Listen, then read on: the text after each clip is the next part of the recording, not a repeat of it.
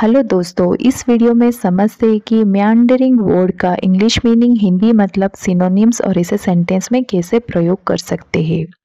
इसका English meaning है following a winding course इसका हिंदी मतलब है घुमावदार।